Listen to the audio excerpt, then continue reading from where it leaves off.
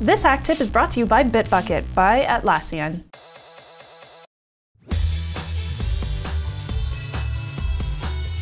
Welcome to HakTip, the show where we break down concepts, tools, and techniques for hackers, gurus, and IT ninjas. I'm your host, Shannon Morse, and today we are talking about man pages. Okay, so first off, I realize talking about man pages is very much Linux Terminal 101, but I realized that I have never actually done an episode about customizing output for man pages, so I figured, eh, why not? So man, which is short for manual, stores a bunch of information about different kinds of commands that you can run into that you would normally use in the terminal.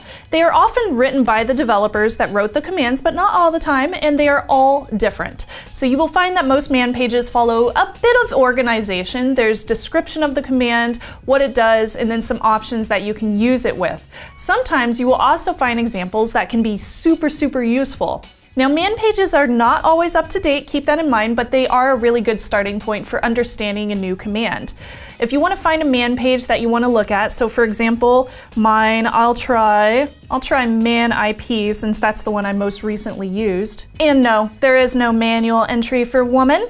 And super easy, I can just scroll up and down with the arrow up and down, or I can page up and down to go to the top or the bottom, or I can use F to move forward, B to move back, and I can use spacebar to skip forward too. So super easy, just really nice keyboard shortcuts that you can use there. I can also use the forward slash, just like that, to look for some kind of terminology. So I'll look for route and then hit enter.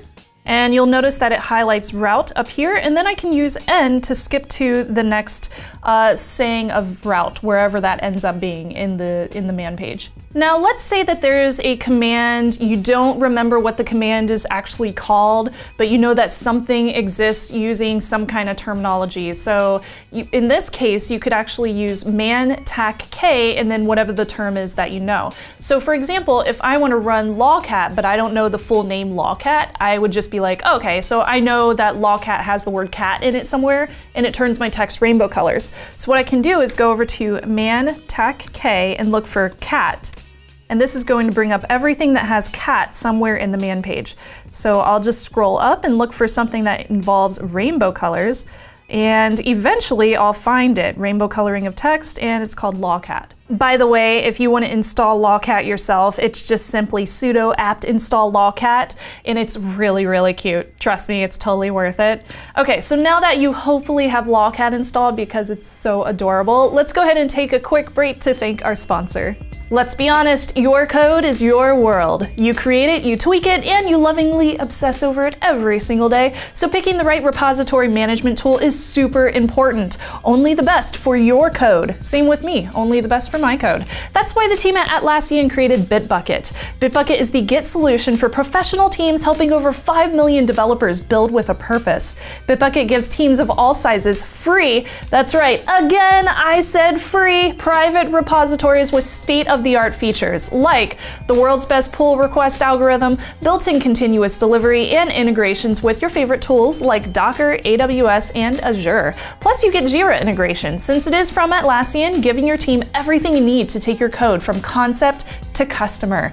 We've used Bitbucket here to share private code and collaborations with each other so that the code is so perfect before we ever release it into the wild. Bitbucket is for the code that takes us to Mars. It's for the code that decodes the human genome, or it drives your next car. Or for us InfoSec people, maybe it's for your next InfoSec tool. You can visit bitbucket.org slash for the code to start your free account. That's bitbucket.org slash for the code. Try Bitbucket today. What will your code do?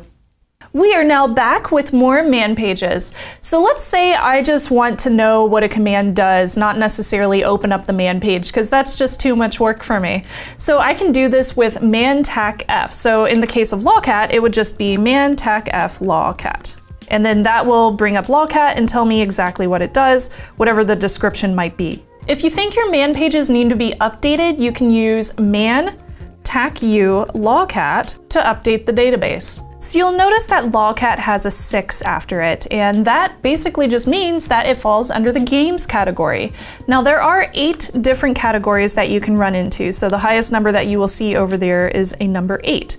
So I'll list those out for you. From number 1, that would be anything like uh, SSH agent like this one, or it could be CD or make directory. Number 2 is low level stuff like socket right here, or it might include uh, chmod. C library functions, that's number three. That's going to include beep, HTML parser, and then you have number four, which is special devices. So special devices would be anything like LP, console, and a lot more. Number five is for file formats and conventions. So this would include passwd, apt, hosts. Those all fall under that category. And then number six again is games, which is self-explanatory. Number seven is going to be miscellanea, and number eight is system for things like mount and shut down. Now some commands may fall into more than one category. Keep that in mind whenever you're looking through here, but I believe they usually list them with the lowest number possible. Now that's about all you need to know on man pages, but be sure to subscribe to our YouTube channel, which is youtube.com slash hak5, and hit the like button if you got some info out of this episode that you thought was worthwhile. Until then, I want to hear your feedback. You can comment below and be sure to check out our sister show, Hak5, for more great stuff just like this. I'll be there reminding you to trust your Technolust.